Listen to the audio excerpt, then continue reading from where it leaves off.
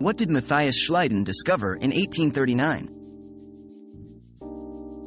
Matthias Schleiden was a German botanist who, in 1839, discovered that all plants were composed of cells.